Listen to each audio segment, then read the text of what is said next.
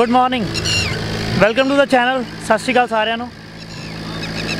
ਝੋਨੇ ਦਾ ਸੀਜ਼ਨ ਚੱਲ ਰਿਹਾ ਜੀ। ਤੇ ਅਸੀਂ ਲਵਾ ਰਹੇ ਹਾਂ ਝੋਨਾ। ਤੇ ਝੋਨਾ, ਅੱਛਾ, ਇੱਕ ਮਿੰਟ। ਆ ਮੇਰੇ ਨਿਸ਼ਾਨ ਕਾਹਦਾ ਬਣਿਆ ਹੋਇਆ ਹੈ? ਗਰਮੀਆਂ ਦੇ ਦਿਨ ਹੈ ਜੀ। 45 ਦੇ ਆਸ-ਪਾਸ ਟੈਂਪਰੇਚਰ ਹੈ। ਸਵੇਰੇ ਪਨੀਰੀ ਪਟਾਉਣ ਗਿਆ ਸੀ ਨਾ ਮੈਂ। ਇਹ ਉਦੋਂ। ਗੁੱਡ ਮਾਰਨਿੰਗ ਫਸਟ ਡੇ ਅੱਜ ਤੋਂ ਪਨੀਰੀ ਵਾਲਾ ਕੰਮ ਸ਼ੁਰੂ ਹੋ ਗਿਆ ਹੈ। ਤੇ ਪਨੀਰੀ ਸਾਡੇ ਕੋਲ ਪਿੰਡ ਆਪਣੀ ਹੈ ਨਹੀਂ ਸੀਗੀ। ਇਸ ਕਰਕੇ ਸਾਨੂੰ ਦੂਰ ਇੱਕ ਪਿੰਡ ਪੈਂਦਾ ਹੈ ਗੁੰਨੋਪੁਰ। ਉੱਥੋਂ ਪਨੀਰੀ ਵੱਢਣ ਵਾਸਤੇ ਆਏ ਆ ਤੇ ਭਾ ਹੁਣਾਂ ਨੂੰ ਮੈਂ ਲੈ ਕੇ ਆਇਆ ਨਾਲ। ਆ ਲੱਗੇ ਹੋਏ ਨੇ। ਪਨੀਰੀ ਪੁੱਟ ਲੈਣੀ ਆ ਤੇ ਆ ਇੰਨੀ ਕੁ ਪੁੱਟ ਲਈ ਹੋਈ ਹੈ ਆਹ ਸੋਨੂੰ ਬੈਠਾ। ਤੇ ਇਹ ਬਾਅਦ ਚ ਆਪਾਂ ਖੜਨੀ ਹੈ ਸੋਨੂੰ ਉਹ ਮੇਰਾ ਵੈਸੇ ਫਰਨੀਚਰ ਵਾਲਾ ਜਿਹੜਾ ਫੋਰਮੈਨ ਹੈ ਤੇ ਬੰਦੇ ਘੱਟ ਸੀਗੇ ਇਸ ਕਰਕੇ ਨਾਲ ਉਹਨੂੰ ਵੀ ਲਿਆਂਦਾ ਆਪਾਂ ਹੈਲਪ ਵਾਸਤੇ। ਸੋਨੂੰ? ਹਾਂਜੀ। ਆ ਮੋਬਾਈਲ ਫੜੀ ਯਾਰ।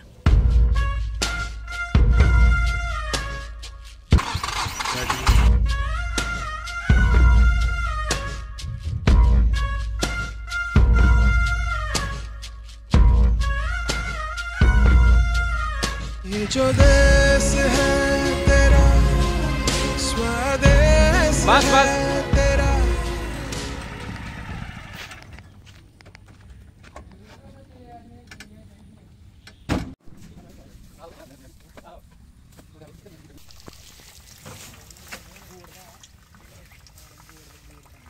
ਤੇ ਪਨੀਰੀ ਪੁੱਟੀ ਗਈ ਹੈ ਹੁਣ ਪਿੰਡ ਪਹੁੰਚਾਉਣੀ ਆ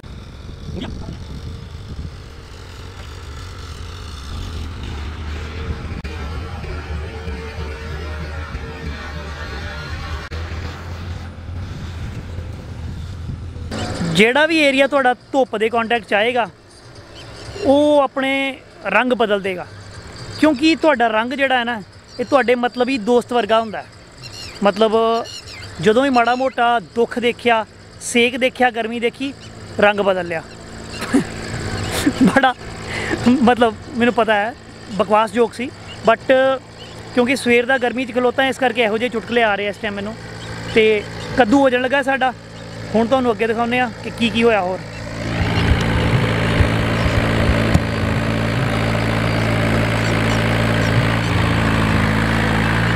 ਹੈਲੋ ਮਾਤਾ ਜੀ? ਉਹ ਚਾਰ ਕੁ ਕੱਪ ਚਾਹ ਬਣਾ ਦਿਓ। ਹਾਂ। ਉਹ ਨਹੀਂ ਨਹੀਂ, ਉਹ ਲਾ ਕੇ ਉਹ ਤੇ ਚਲ ਗਏ ਭਈਏ ਤੇ ਚਲ ਗਏ ਆ। ਆਹੋ ਲੱਗ ਗਿਆ, ਉਹ ਵਾਲਾ ਝੋਨਾ ਲੱਗ ਗਿਆ। ਹਾਂ। ਨਹੀਂ, ਅਜੇ ਬੱਤੀ ਆਉਂਦੀ ਹੀ ਆ ਨਾ, ਤਾਂ ਕਰਕੇ ਮੈਂ ਇੱਥੇ ਬੈਠਦੇ ਆਂ ਥੋੜੀ ਦੇਰ। ਠੀਕ ਹੈ ਓਕੇ ਓਕੇ ਸੋ ਹਾਂਜੀ ਅ ਇੱਕ ਮਿੰਟ।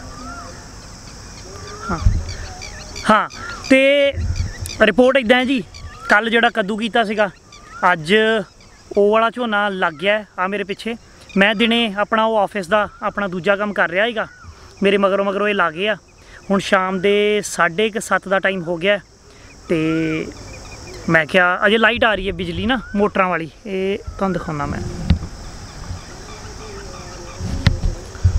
ਅ ਸੌਰੀ ਇੱਥੋਂ ਦਿਖਾ ਨਹੀਂ ਹੋਣਾ। ਮੈਂ ਵੇਖਿਆ, ਆ ਨਹੀਂ ਰਹੀ ਵਿੱਚ। ਕੈਮਰੇ 'ਚ ਨਹੀਂ ਆ ਰਹੀ ਮੋਟਰ।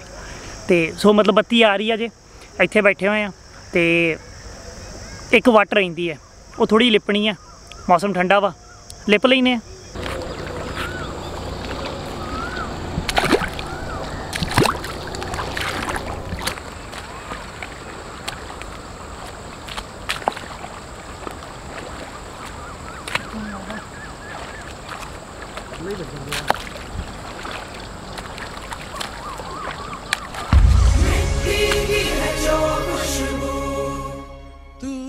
कैसे बुलाएगा ਉਹ ਉਹ ਨਿੱਕੇ ਪਾ ਗੁਰੂ ਢਿੱਡ ਨੂੰ ਕੀ ਹੋਇਆ ਵਾ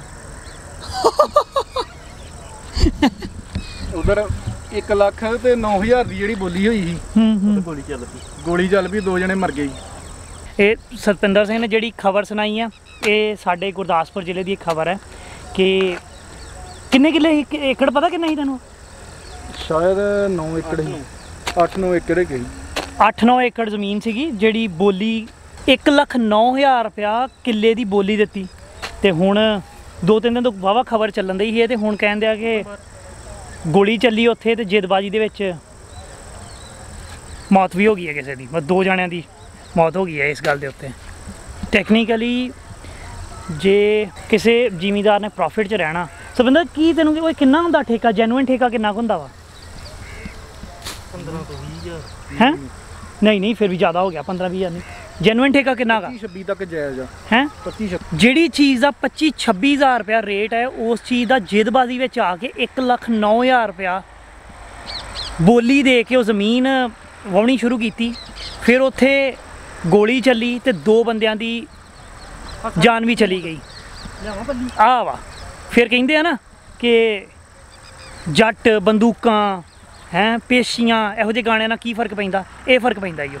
ਹੋਰ ਕੋਈ ਫ਼ਰਕ ਨਹੀਂ ਪੈਂਦਾ। ਦੈਟਸ ਇਟ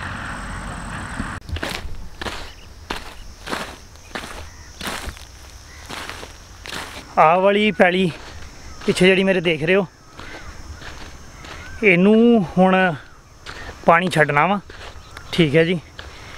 ਅੱਜ ਫੇਰ ਰਾਤ ਦੀ ਵਾਰੀ ਹੈ। ਇਹ ਲਾਸਟ ਕੱਦੂ ਹੈ। ਇਹ ਕਰਨ ਤੋਂ ਬਾਅਦ ਵਿੱਚ ਮੈਂ ਝੋਨੇ ਵਾਲਾ ਵੀਡੀਓ ਜਿਹੜਾ ਹੈ, ਉਹਦਾ ਐਡਿਟ ਸ਼ੁਰੂ ਕਰ ਦੇਣਾ ਬਸ ਦੋ ਕੁ ਦਿਨ ਮੈਨੂੰ ਲੱਗਣ ਦਿਆ ਹੈ ਕਿ ਹੋਰ ਤੁਹਾਨੂੰ ਦਿਖਾ ਲਿਆ ਜਾਏ ਕਿ ਸ਼ਡਿਊਲ ਹੁੰਦਾ ਕਿਦਾਂ ਦਾ ਵਾ, ਕਿੰਨਾ ਕੁ ਟਾਈਟ ਹੁੰਦਾ। ਲਓ ਜੀ, ਇਹੀ ਟਾਸਕ ਹੁਣੇ ਚੱਪਲ ਇੱਥੋਂ ਬਾਹਰ ਨਹੀਂ ਆ ਸਕਦੀ। ਰੁਕੋ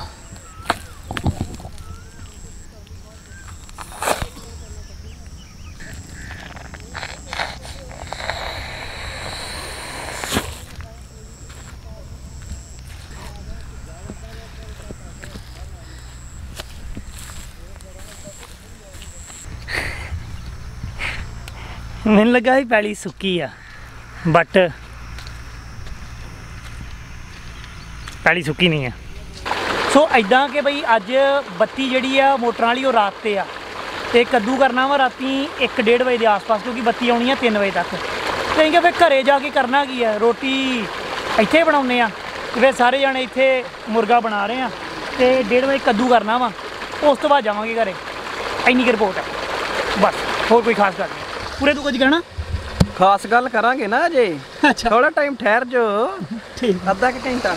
ਲੈਗ ਪੀਸ ਜਾਣ ਦੋ ਅੰਦਰ ਜੀ ਲੈਗ ਪੀਸ ਅੰਦਰ ਜਾਣ ਦੋ ਮੈਂ ਘਰਦਿਆਂ ਨੂੰ ਫੋਨ ਕਰੀ ਦਵਾਂ ਕਿ ਮੈਂ ਥੋੜੀ ਲੇਟ ਆਉਣਾ ਹਨਾ?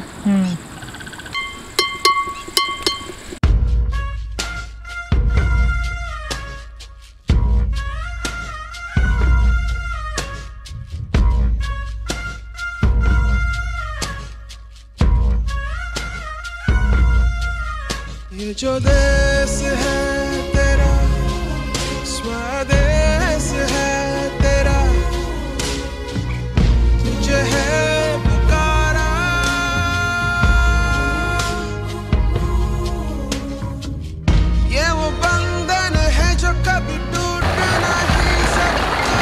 है सो इदा वा कि पार्टी शुरू हो गई है। तो मैं ਖਾ ਲਾਂ ਤੇ ਤੁਹਾਨੂੰ ਮਿਲਦਾ ਵਾਂ ਮੈਂ ਕੰਮ ਕਰਕੇ ਆਵਾਂ। ਜ਼ਿਆਦਾ ਦੇਰ ਕੈਮਰਾ ਨਹੀਂ ਚੁੱਕ ਸਕਦੇ, ਕਈ ਵੀ ਚੁੱਕਣੀ ਪੈਣੀ ਹੈ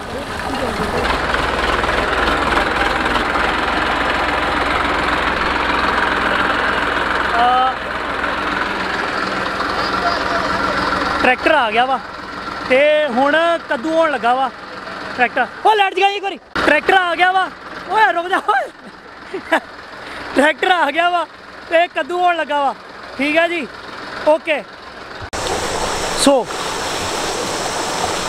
ਲਾਈਟ ਬਹੁਤ ਵਧੀਆ ਹੈ ਤੇ ਇਸ ਵਲੌਗ ਨੂੰ ਐਂਡ ਕਰਨ ਦਾ ਟਾਈਮ ਆ ਗਿਆ ਤੁਸੀਂ ਇਹ ਜਿਹੜਾ ਸਾਰਾ ਵਲੌਗ ਦੇਖਿਆ ਨਾ, ਇਹ 6 ਤੋਂ 7 ਦਿਨ ਦੀ ਜਰਨੀ ਸੀ ਟੋਟਲ ਵਲੌਗ ਜਿੰਨਾ ਵੀ ਹੈ ਮੇਰਾ।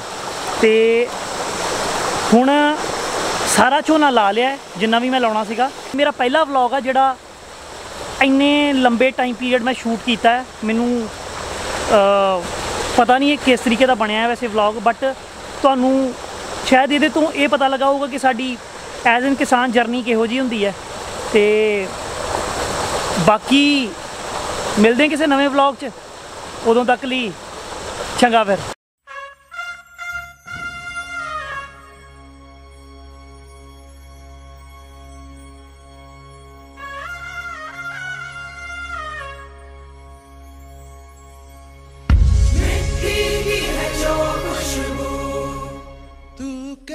तू कैसे बुला